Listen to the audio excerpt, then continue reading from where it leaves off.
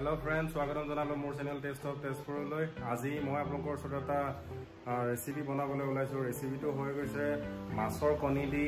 তাৰ লগত ঢেকীয়া আৰু বেঙেনা এটা ৰেচিপি তেনেহ'লে ব'লক মই ভিডিঅ'টো আপোনালোকক বনাই পেলাই দেখুৱাওঁ কেনেকৈ ঢেকীয়া বেঙেনাৰ লগত মাছৰ কণীৰ এটা ৰেচিপি হয়। ত' মই এতিয়া প্ৰথমতে মই ঢেকীয়াখিনি আনিম। ঢেকীয়াখিনি মই আনি পেলাই বাহিৰত ৰাখিছিলোঁ। ত' মই এতিয়া ৰ'দৰ পৰা মই গৈ পেলাই আনিম। তাৰপিছত মই বাকী ৰেচিপিটোৰ কাৰণে ষ্টাৰ্ট কৰিম। এতিয়া মই ভিতৰলৈ নি আছোঁ আৰু মই এইখিনি এতিয়া ভালকৈ এবাৰ কাটি ল'ম। আৰু এই ঢেকীয়াখিনি মই এনেকৈ সৰু সৰুকৈ কুটি ল'লোঁ আৰু এইটো এটা বেঙেনা লৈ লৈছোঁ। আৰু এইটো চালাড টুকা এখন ৰুকনি মই ইয়াত এতিয়া বেঙেনাটো মাৰি ল'ম মই মই।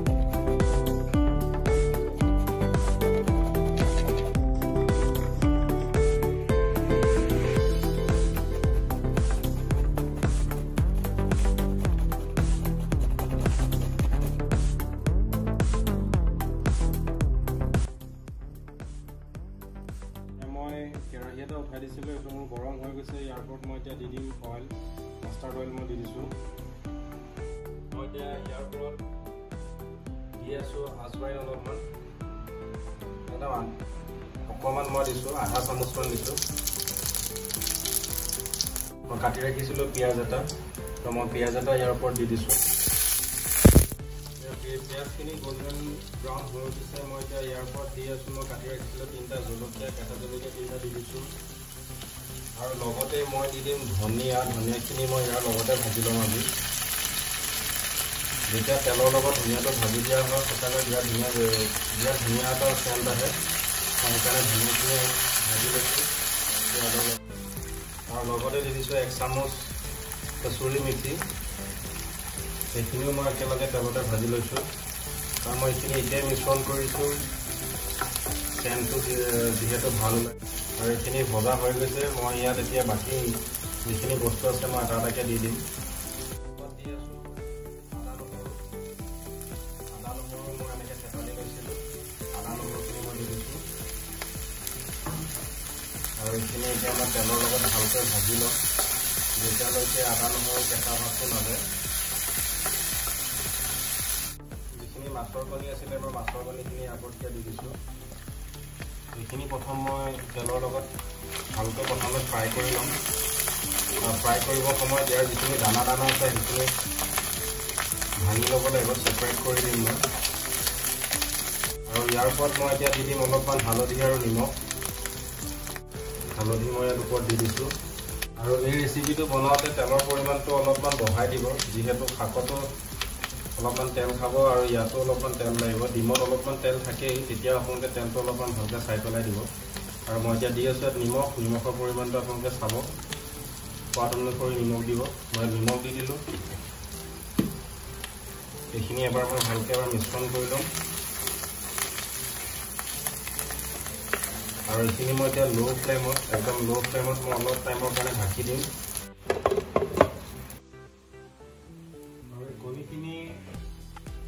ফৰ্টি পাৰ্চেণ্টমান ফ্ৰাই হৈ গৈছে এটা চাই হালধীয়া হালধীয়া হৈ উঠিছে।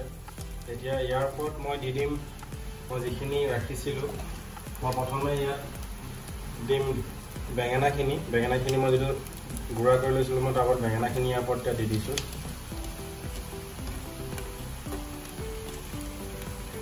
সেইখিনি মই এবাৰ ভালকৈ লৰাই ল'ম।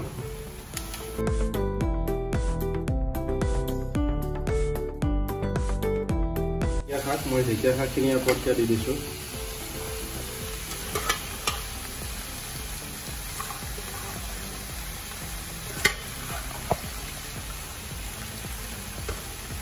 আৰু এতিয়া মই ইয়াৰ ওপৰত দি দিম অলপমান নিমখ শ্লাইট অলপমান নিমখ দিম। নিমখটো আপোনালোকে দুভাগত দিব। এবাৰ ফ্ৰাই কৰোঁতে আৰু এবাৰ শাকখিনি পেলাওঁতে। তেতিয়া শাকখিনি ধুনীয়াকৈ গলি যাব। আৰু এইখিনি মই এতিয়া লৰাই দিম।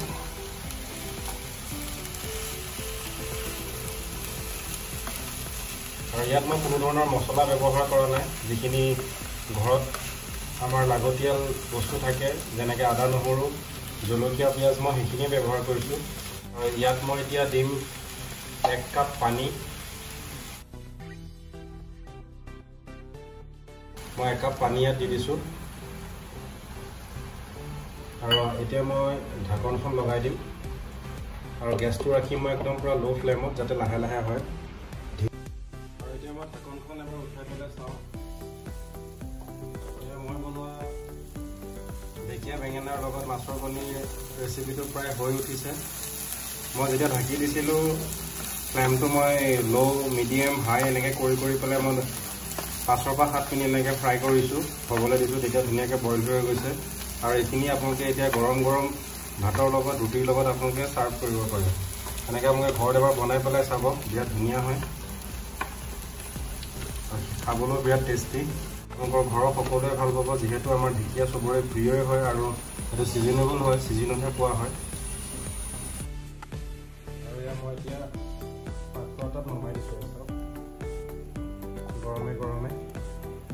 ভাতৰ লগত সেৱন কৰিব।